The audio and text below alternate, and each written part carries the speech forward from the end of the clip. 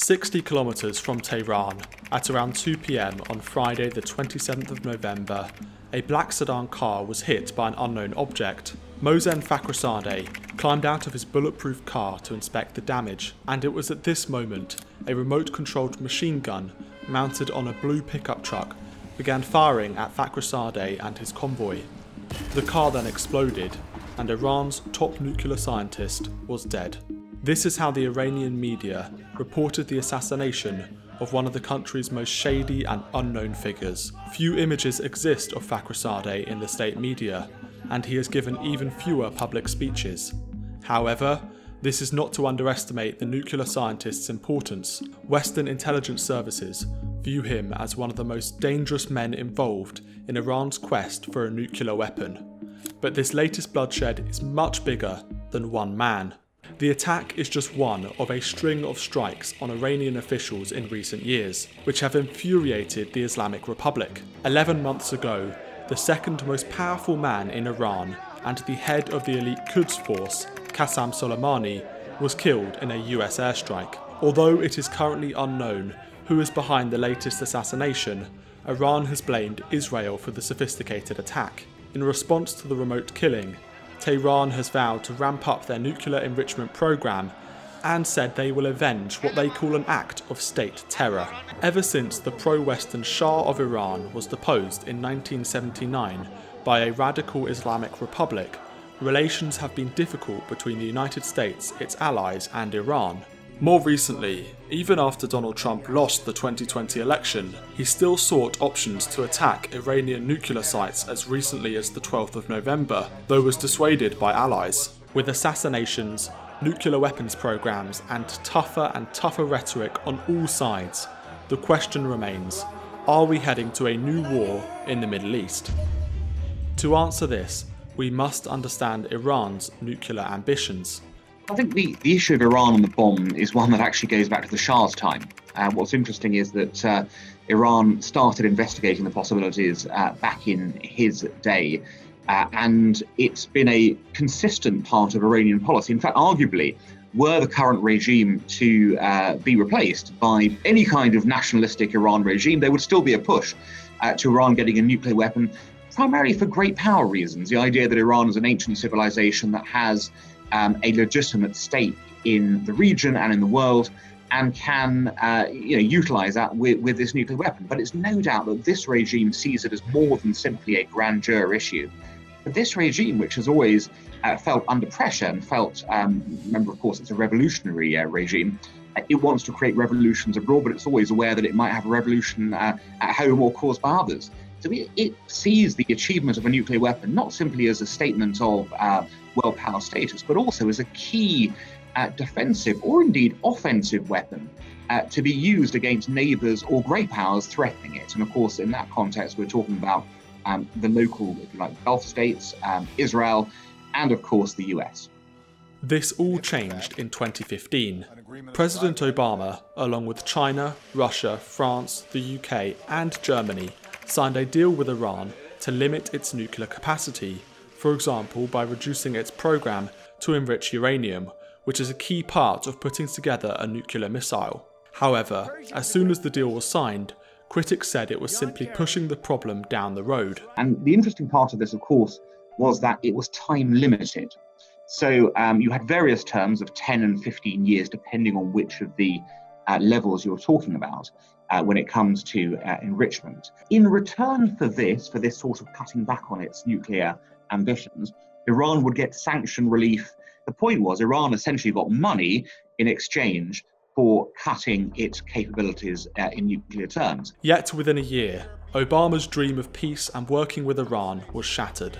Against all odds, Donald Trump won the presidency, and the eight years of Democratic control over the White House was over. With the new Trump era, the United States drastically changed its policy towards Iran. Donald Trump immediately declared Obama's deal as a horrible one sided deal that should have never, ever been made. It didn't bring calm, it didn't bring peace, and it never will. In 2018, the Trump administration left the Iran deal, causing international confusion. Not only did Trump pull out of the Iran deal, but a policy of maximum pressure was put on Tehran. Sanctions were increased, tough rhetoric was used, and the president even ordered an airstrike on the second most powerful man in the Islamic Republic, Qasem Soleimani. And we take comfort in knowing that his reign of terror is over. So would Iran carry on complying with the deal? After 2018, what is indisputable is that the European um, component parts of the treaty, the UK, Germany, and France, were determined to keep it alive. And rather than say, look, the US is out, we need to renegotiate with the US a new deal that everyone's happy with, their line was, well, the US has gone off on one essentially.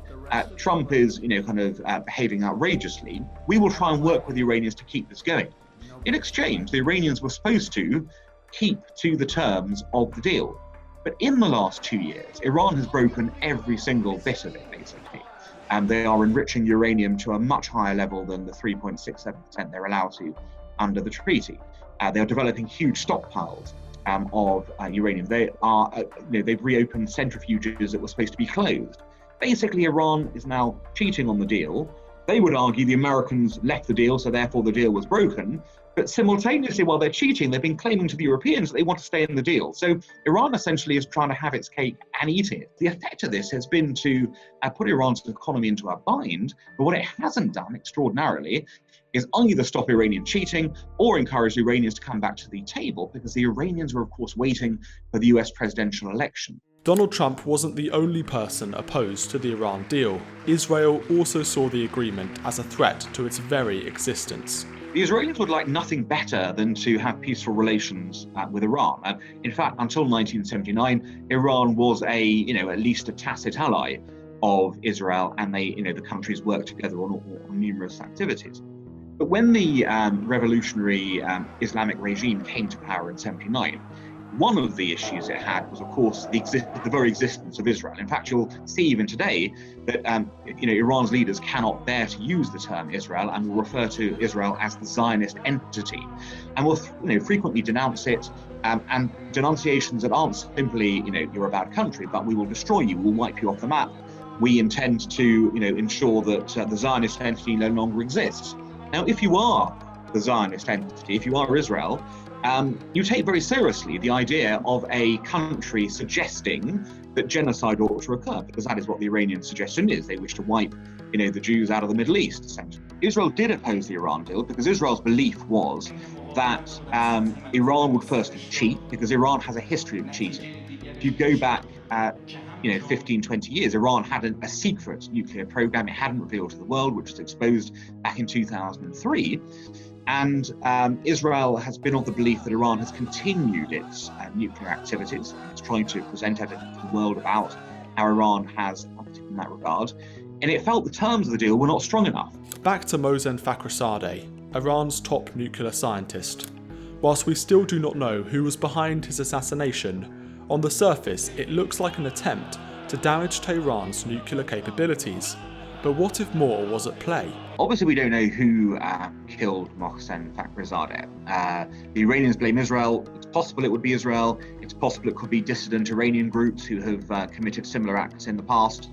It's possible it could be you know, the Americans. You know, there, there, are various options as to who uh, might have uh, been behind it all, even the Gulf states, something like that.